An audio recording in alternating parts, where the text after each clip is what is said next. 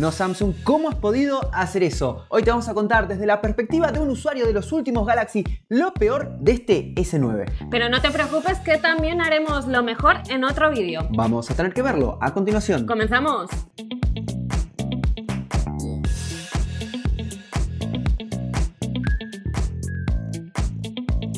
Hola tecnonautas, no puede ser todo el mundo hablando maravillas de este Galaxy S9, pero no, si lo queremos comprar tenemos que saber lo peor, así que para eso estamos nosotros Ana, para hilar fino y contarte en qué falla este Galaxy S9. Venimos guerreros, soy Martín, como guerrero también es el sorteo del Galaxy S9 que termina mañana mismo, así que si no estás participando, vete corriendo al link que te dejamos en la descripción y ya sabes, suscríbete y campanita. Y las campanas suenan también para Samsung porque ahora es momento de darle caña. Y empezamos, Martín, cómo no, hablando del diseño, un diseño que es muy continuista, muy parecido al del Galaxy S8 y que vamos, vamos a encontrar poquísimas diferencias. A ver, no está mal, es bonito, es uno de los móviles más bonitos del mercado, sin lugar a dudas, pero aquí lo que vemos es una grandísima falta de coraje por parte de la gente de Samsung. ¿Por qué? Bueno, porque incluso cuando hablábamos de los rumores de este nuevo Galaxy, se veía que iban a quitar, por ejemplo, la franja de abajo para hacerlo realmente un todo pantalla.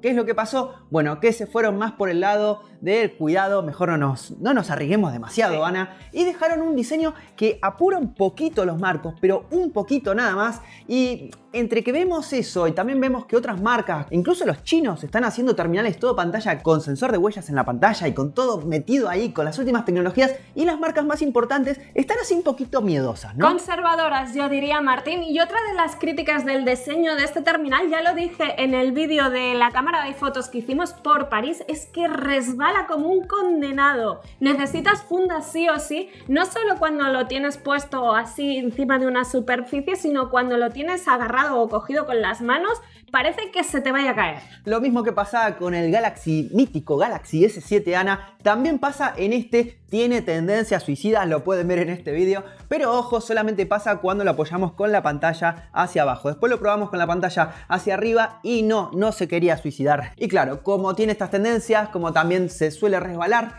lo que pasa es que es un teléfono frágil. Ya lo hemos visto en un vídeo justamente de Jonathan Morrison, si no recuerdo mal, que se le cayó así un poquito y ya se le rompió la pantalla. La gente de Samsung dice que han engrosado un poquito, un, milímetro, el cristal Gorilla Glass 5 de la parte delantera para hacerlo más resistente, pero a ver, también hay que probarlo más, pero se suele romper también con facilidad. No vamos a hacer un test de resistencia ¿eh? con este terminal que lo tenemos que cuidar. Todavía, Ana, todavía. Bueno, otra de las cosas que no nos gusta, no nos acaba de convencer es el botón dedicado de Bixby. De momento no tiene mucha utilidad y además la función esa de traducir que tanto sacó pecho Samsung, por ejemplo, la carta de los restaurantes, cuando estuvimos en París, Martín, intentamos traducir del francés al español y eso era un desastre. Lo estuve probando bastante y solamente funciona con carteles muy grandes. Ojo, también por ahí si es una palabra que tiene distintas texturas y eso lo entiende muchas veces, pero nunca lo entiende al 100%. Yo creo que es una idea que está muy bien. Por ejemplo, si lo comparamos con Google Lens, si no recuerdo mal,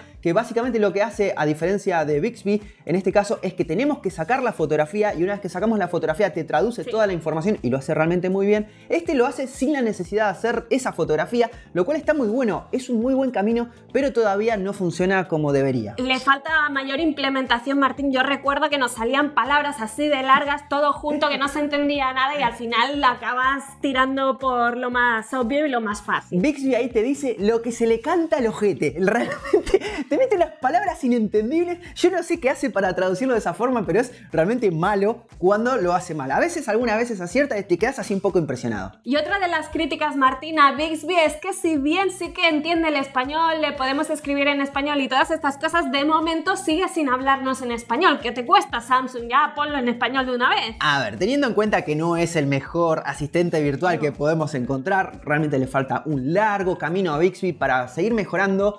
El tema está en que además en nuestro idioma no sirve para nada. Y tenemos un botón ahí que está justo debajo del volumen. Sí. Y lo peor que tiene es que muchas veces le terminamos dando pensando que es el botón de encendido y que no, que es el botón de Bixby. Y o encendemos Bixby, que la mayoría de veces no lo vamos a querer hacer, o lo que tenemos es que es un botón que no, no hace nada y termina molestando. Entonces, Samsung, si vamos a hacer las cosas, por favor, muchachos, hagámoslas bien y después lanzamos el producto. Y si hay algo que nos quejamos amargamente en el S8 era la posición del lector de huellas. En este caso Samsung la ha mejorado bastante, pero el lector de huellas no termina de funcionar aquello que dice súper fluido, no es el más rápido del mercado. Mejora, mejora bastante. Esto hay que aclararlo muy bien. Incluso cuando queremos registrar nuestra huella está buenísimo porque ahora no tenemos que estar ahí metiendo el dedo de dar vuelta con la huella así. ¿Cómo también lo puedo poner? No, haces así, lo pasás directamente y te la reconoce de una. En mi caso particular siempre tuve problemas con los lectores de huella. Mi huella no quiere a los Samsung y en este caso sí funciona un poquito mejor. ¿Cuál es el problema? Es que es muy chiquito, está muy cerca de la cámara,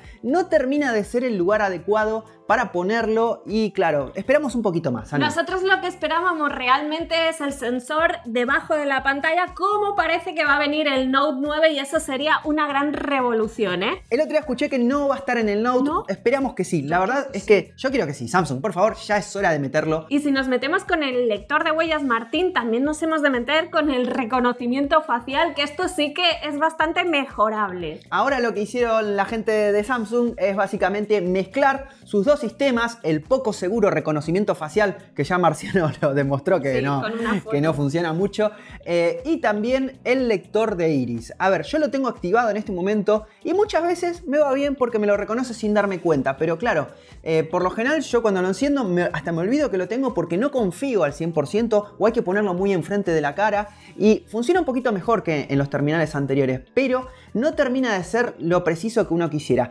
En este caso es mucho mejor todavía el de Eh, Apple. Vamos a por un punto negativo un tanto controvertido y digo controvertido porque vamos a hablar de la cámara de este terminal que es una cámara espectacular, es muy buena en todos los sentidos, pero no mejora tanto con respecto a la del S8 y la del Note 8 como nos gustaría o como nos vende Samsung. Cuando estaban haciendo la presentación, cuando dice del Galaxy S9, dice la cámara reimaginada y claro, es la razón fundamental por la que podemos cambiar este terminal. ¿Y qué es lo que pasa?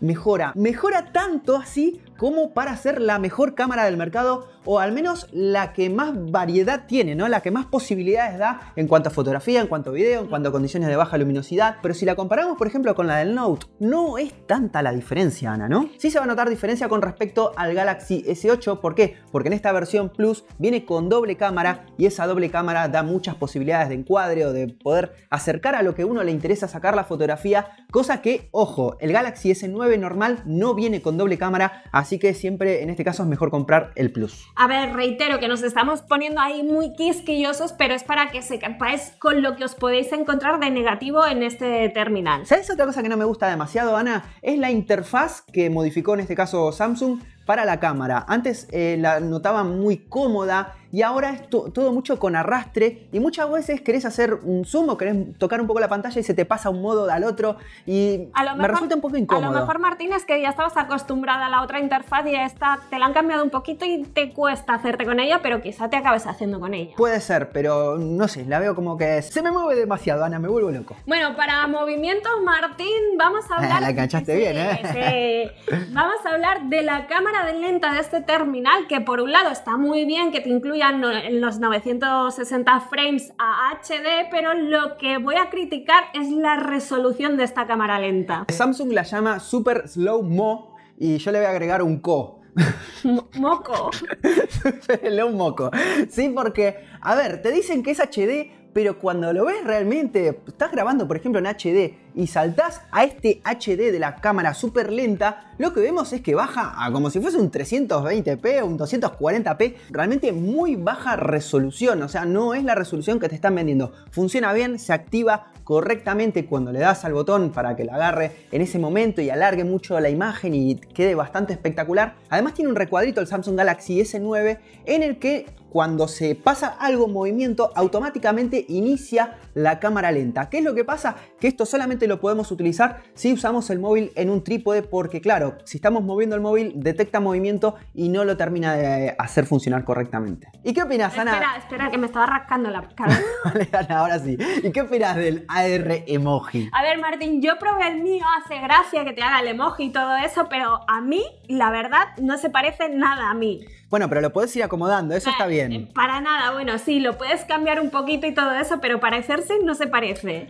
Como idea está buena. Vamos a ver que hay varias cosas del Samsung Galaxy S9 que tienen buen camino para más adelante, pero que las están largando a medio cocinar. Este justamente creo que es uno de los puntos, es algo que lo tienen que seguir trabajando, pero que, por ejemplo, a diferencia del iPhone X con el detector de alta definición, podríamos decir facial que tiene, eh, detecta mucho mejor el movimiento el iPhone que este. Eh, los gráficos, los dibujos son como todavía faltos de detalle, faltos de trabajo. Sí, un camino a recorrer por parte de Samsung. Está la primera piedra puesta ahí. Está bien que empiecen por algo, pero que tienen que ir mejorando con el tiempo. A ver si el Note 9 yo creo que promete mucho, Martín. Y evidentemente si hablamos de puntos negativos, hemos de hablar del precio de este terminal que no es un terminal en absoluto barato. A ver, es un terminal de gama alta, muy buena calidad, con doble cámara, si estamos hablando del S9 Plus. Y el precio, bueno, es también un poco lo que conllevan estos terminales. Estamos hablando de unos 950 euros. Está, digamos, saladito el precio.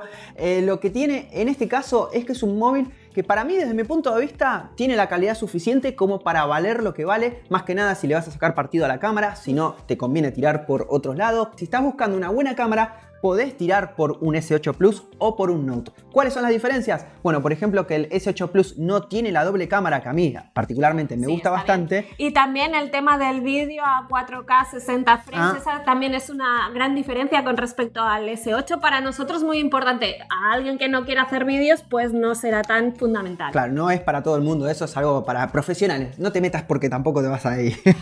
no, no, tranqui, no te enojes. No cortes el vídeo, no me cortes el vídeo. ¿De qué estábamos diciendo? no del Note, del Note, importante. El Note a mí particularmente me gusta mucho, es más económico, pero lo que no tiene, a diferencia del Galaxy S9, es tan buena batería. Eh, tiene mejor batería el Galaxy S9 Plus. Así que digamos que podés ahorrar por un lado con estos móviles, pero también hay cosas que este Galaxy S9 Plus tiene que los otros no. Quizás esperaría por el Note 9 eh, pero es alguna apreciación mía nada más, ¿eh? O si no necesito tanto... Martín, pero, pero te estás yendo un poco por las ramas porque hemos dicho lo peor de este terminal, pero lo peor, lo peor, lo peor no lo hemos dicho todavía. Sí, pero lo peor de todo, justamente, no tiene que ver solamente con este terminal, sino con todos los terminales de Samsung. Recuerda que te lo viene diciendo una, un profesional, una persona que viene desde el S7 Edge usándolo todos los días para eh, vida personal, para el trabajo y hay un problema grandísimo y que lo voy a explicar correctamente en un vídeo aparte. O sea que... te tendrás que ver el vídeo aparte. Ya hemos prometido el vídeo de lo peor de todos los terminales Samsung, quizá alguien ya se lo pueda imaginar, y también lo mejor de este S9. Así que bueno, un muy buen terminal que no está exento de fallos y que para entender todo este vídeo hay que ver el siguiente que lo colgaremos mañana. Nada más, nosotros nos vemos en el próximo video. Chao.